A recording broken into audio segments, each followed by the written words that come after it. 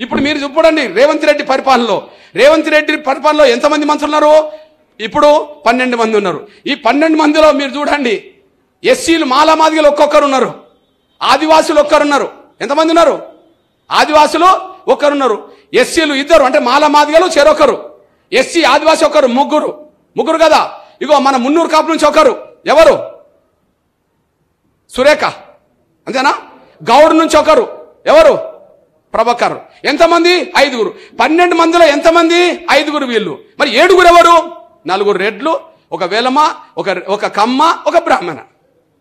అంటే జనాభా ఎంత అగ్రకులాలది పది శాతం. వాళ్ళు ఎంతమంది ఉన్నారు? ఏడుగురు ఉన్నారు. తొంభై శాతం మంది మన వర్గాలు. ఎంతమంది ఉన్నారు? ఐదుగురు ఉన్నారు. అంటే యాభై శాతం లోపే మనం కే కిరణ్ రేవంత్ రెడ్డి మంత్రి వరకు ఉన్నాము.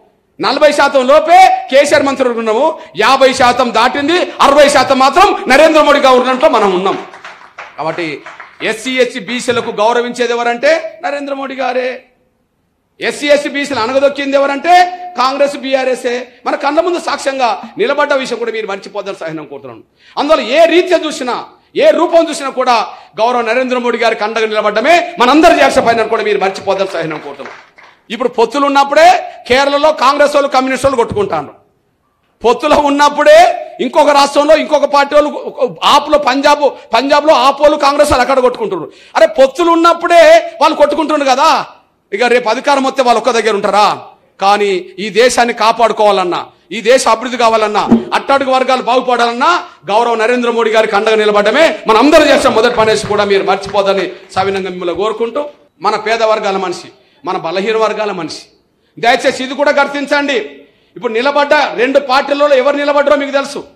ఇప్పుడు నిలబడ్డ రెండు పార్టీల్లో ఏ వర్గం నిలబడ్డదో మీకు తెలుసు. మళ్ళా చెప్తున్నా ఇప్పుడు నిలబెట్టిన రెండు పార్టీల్లో ఎవరు నిలబడ్డారో మీకు తెలుసు. ఈయన పేరు చెప్పండి కాంగ్రెస్ అభ్యర్థి పేరు చెప్పండి. ఎవరు? సునీత? దాని పక్కే ఉన్నది. ఓకే. బీఆర్ఎస్ అభ్యర్థి ఎవరో చెప్పండి. ఓకేనా? ఓకేనా?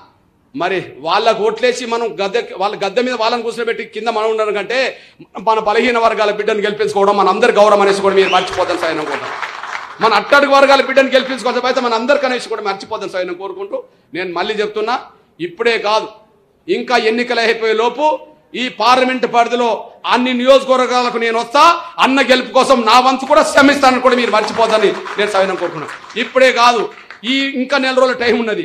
ఈ నెల రోజుల టైంలో నేను తెలంగాణ తిరుగుతా ఆంధ్ర తిరుగుతా కర్ణాటక తిరుగుతా అంతా తిరుగుతా. ఎంత తిరిగినా కూడా సికింద్రాబాద్లో కిషన్ రెడ్డి అన్న గెలుపు మల్కాజ్గిరిలో నాకు రాజేందర్ అన్న గెలుపు నాకు ముఖ్యమనేసి కూడా మీరు మర్చిపోదని నేను సవినంగా కోరుకుంటూ అన్నను గెలిపించడానికి ఈ నెల రోజుల పాటు శ్రమిస్తామన్న వాళ్ళు.